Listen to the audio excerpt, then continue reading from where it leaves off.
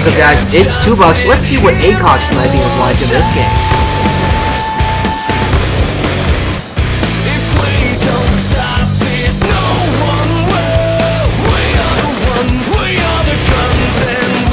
So that's a nice 7-9 feed right there with the ACOG. I really like that clip.